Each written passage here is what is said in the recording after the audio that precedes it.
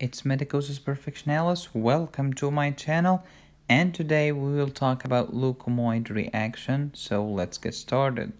But first, what does leukemoid mean? So, leuko is leukemia and oid means like. It's a leukemia-like condition.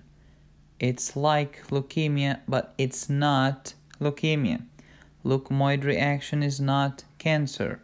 Leukemoid reaction is a benign condition. It's an exaggerated leukocyte response against a microbial pathogen or in response to stress. Usually white blood cell count will be greater than 50,000, but again, it's not leukemia. It could be either myeloid or lymphoid in origin. What are the causes of leukemoid reaction?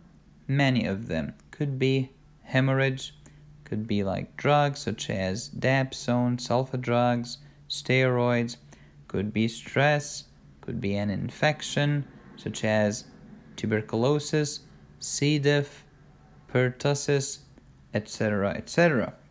So the take home message is leukemoid reaction is not leukemia. As we have discussed before in the previous video, we talked about alkaline phosphatase and the scoring method. When the white blood cells are doing their job and they are kind of mature, LAP score is high. If white blood cells are useless and less mature, LAP score is low. So leukemoid reaction will have high LAP score, CML will have low LAP score, as you know. When you have a leukemoid reaction, keep calm, it's benign.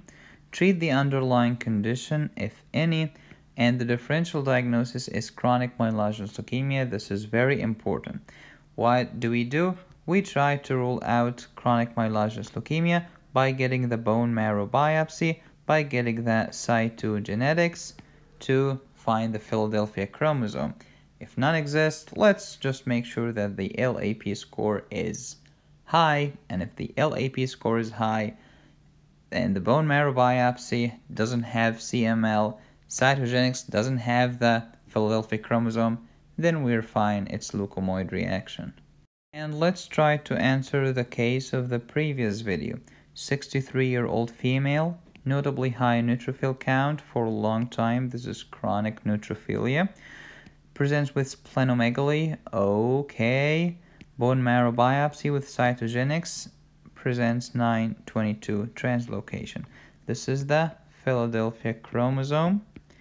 This is splenomegaly, neutrophilia. Together we have CML. And the age pattern fits perfectly. Which of the following findings are expected on lab investigation? TRAP positive is wrong. This is hairy cell leukemia blasts greater than 50% of the bone marrow. This is very rare, but this is an acute leukemia, not a chronic one. And usually it's not like 50%, it's kind of more than 20. Um, Auer rods is AML, it's an acute leukemia. We're talking about CML. Low LAP score is, of course, the correct answer.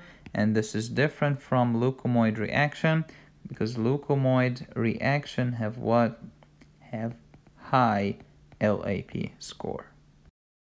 And we are done for the day. Please consider subscribing to my YouTube channel. Follow me on Facebook, SoundCloud. Please consider supporting my work on patreon.com to get early access to my videos, plus other notes and stuff like that. I'll see you then. Be safe, stay happy, and study hard. It's Medicosis Perfectionalis.